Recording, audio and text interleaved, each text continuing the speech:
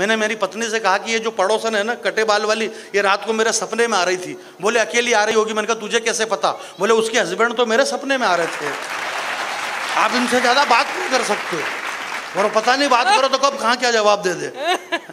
मैंने कहा विश्व सुंदरी तो वो चित्तौड़ की महारानी पद्मिनी थी? मैंने पत्नी से कहा कि एक काम करो तुम भी इस प्रतियोगिता में ट्राई करो। पत्नी ने कहा कि मुझे तो इस बात का होता है कष्ट। विश्व सुंदरी यानी जिसके शरीर पे सबसे कम कपड़े, वो फ़र्स्ट। इसलिए इस देश को विश्व सुंदरी प्रतियोगिता के लिए करोड़ों रुपया नहीं खोना चाहिए और देश में विश्व सुंदरी की जगह झांसी की रानी बनाने की प्रतियोगिताएँ होना चाहिए। झांसी की रानी बनाने की प्रतियोगिताएँ अपन ने करी थी, परंतु रिज़ल्ट गलत निकला। अपन लगे रहे कि झांसी की रानी आएगी, झांसी की रानी आएगी, झांसी की रानी आई नहीं, बदले में रानी मुखर्जी आ गई। और आके चली गई। हमारी ताकत गलत जगह लग रही है। ताकत जहाँ लगाना चाहिए वहाँ हम नहीं लगा रहे। ताकत हमारी गलत जगह लग रही है। गलत जगह हमें हमारी ताकत नहीं लगाना चाहिए। हम फ़िलहाल में गलत जगह ताकत लगा रहे हैं। मेरे से भी हाल ताकत नहीं लग रही है क्योंकि शुरुआत दौर है कवि सम्मेलनों का। कवि सम्मेलनों में जब कोरोना काल था उस समय कवि सम्मेलन नहीं थे। और अब आप जब कवि सम्मेलन है तो, तो जो पुरानी कविता है वो भूल गए।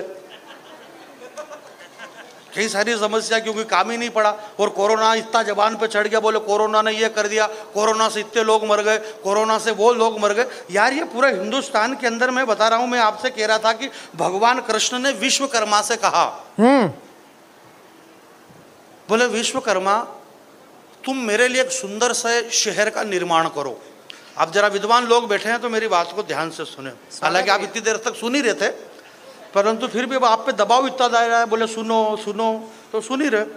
तो विश्वकर्मा ने कहा, बोले, ठीक है भगवान, आपकी आज्ञा का पालन किया जाएगा। विश्वकर्मा ने एक सुंदर सा शहर बनाया। आपको पता है, उन्होंने द्वारका का निर्माण किया।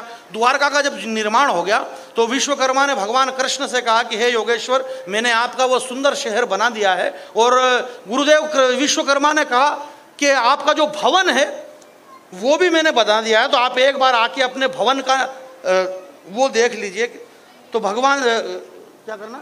निरीक्षण। जबान बहुत ही ज़्यादा चिपक रही हो। तो बोले, निरीक्षण कर लो। मेरी नहीं विश्वकर्मा की। श्री कृष्ण ने विश्वकर्मा से जो बढ़िया बात कही है, बस मैं दो मिनट का समय लूँगा, शशिकांत जी यादव देश के बड़े कवि, उनकी भूमिका में मैं आया हुआ हूँ। विश्वकर्मा से श्री कृष्ण जी ने कहा कि, हे विश्वकर्मा, दुनिया में तुमसे बढ़िया कोई निर्माण करने वाला व्यक्ति हो नहीं सकता।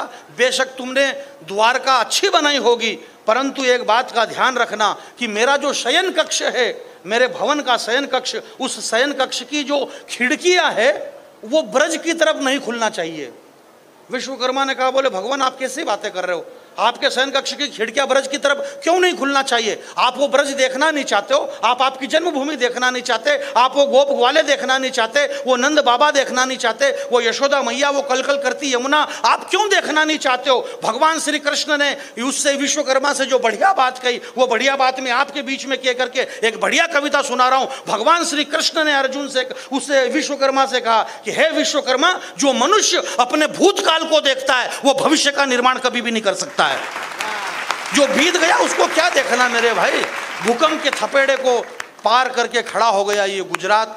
इस सरदार वल्लभ भाई पटेल की धरती पे एक छोटी सी कविता मैं आपके बीच में सुना रहा हूँ और शशिकांत यादव जी को आपके बीच में कविता पाठ के लिए बोला इसी को आराम बोलते हैं। मतलब बुझ ही नहीं सकती ये आग। मेरा वादा है क्योंकि ये लगी हुई कम और फैलाई गई ज़्यादा ज़्यादा है। वाह वाह वाह वाह वाह वाह वाह वाह वाह। बुझ ही नहीं अच्छी पंक्ति है। जानी बहुत अच्छा। बुझ ही नहीं सकती ये आग। मेरा वादा है क्योंकि ये लगी हुई कम फैलाई हुई ज़्यादा है। जब आग देश में लगी है तो आप आइए आइए आइए। मेरे घर तक आइए। आपका स्वागत है। हम आपका स्वागत करते हैं। आपको पोषित करेंगे। आप पल्लवित हो आपको हम पोषित करेंगे। आप आज के बाद भले एक बार भी भाला मत फेंकना हम आपको महाराणा प्रताप घोषित करेंगे। वाह! आप अगर कविता सुन रहे हैं तो मैं एक नई कविता सुना रहा हूँ। नीरज चोपड़ा जी ने भाला फेंका इस देश के अंदर सा। हम्म। नीरज चोपड़ा जी के सम्मान में मैं चाहता हूँ कि आप पढ़े लिखे लोग हैं कविता के लोग हैं तो जिन्होंने एक बड़ा काम किया नीरज चोपड़ा जी ने उनके सम्मान में आप एक बार ताली बजा दीजिए मुझे बहुत अच्छा लगेगा।